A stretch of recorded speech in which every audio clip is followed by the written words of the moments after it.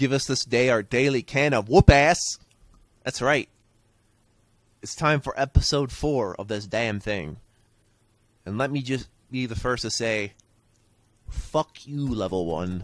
Fuck you. uh, so, first off, lots of things are going to teleport in. There's certain trigger points in the level where things will just come at you. Shotgunners, imps. No infantry, guys. None. They come later, I think. But no, not in level 1. Level 1, we're just going to be like, nah, nah. And you got to figure out what the switches do, what the, well, you know what the acid does. But there's this is going to be the first of which I'll admit I am not always going to get all the secrets, and I'll explain why when I get there. But I will get this secret. You know why? Because there's a rocket launcher. And having a rocket launcher level 1 is what I'm fucking talking about. I will go back again to the other teleporter to get more shotgun ammo. I want to be stocked up on my shit, okay?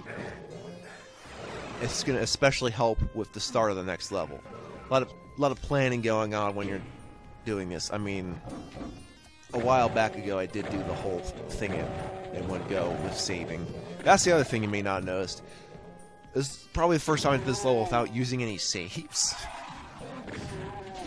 Which is kind of fun. In a, ah, it's to kick my ass sort of way. But as, like, as I said, you know, you use, use a take that's great.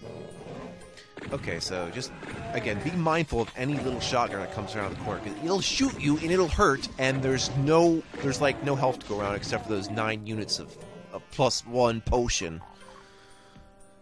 which is insane. Anyway, there's a uh, shadow pinky that's walking around the acid. Deal with him before you do anything else in here.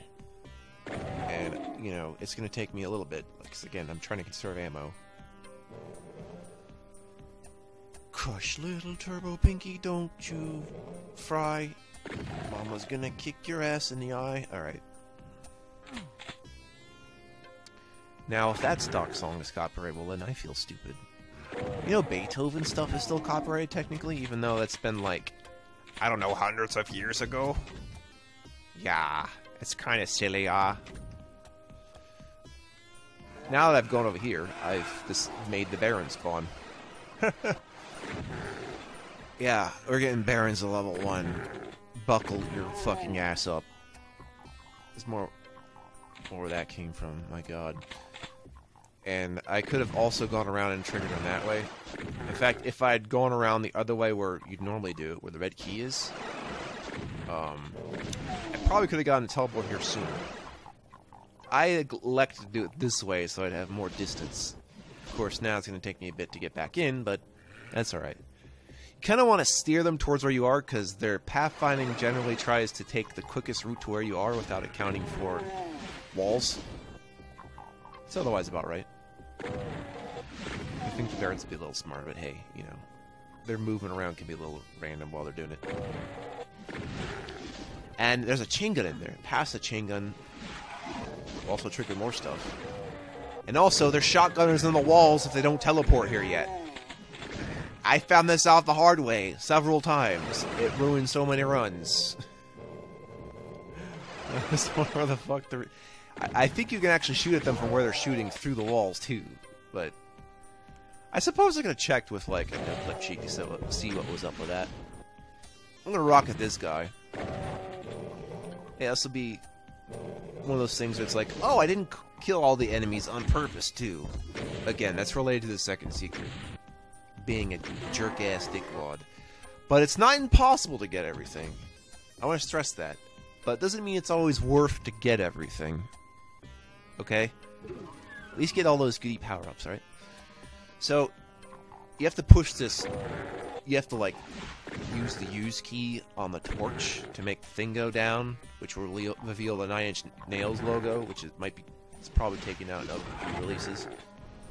But, if you go to this blue key, and then push it, you could be trapped in there with four barons. Um, you can get down there without being stuck if you go down there before you get the blue key. And the four barons will be down there with you, and you push the button, you come out. But yeah, depending on how you run it, you can manipulate how it teleports in, which is quite easy to do. I can't consistently make it happen the way I want to sometimes, especially with all the enemies spawning there.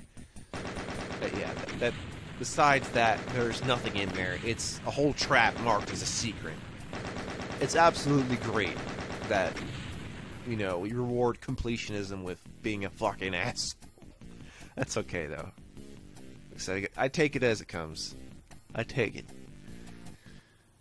Join me next time when I go into E4M2, and it's equally, if not more, insane. Goodbye.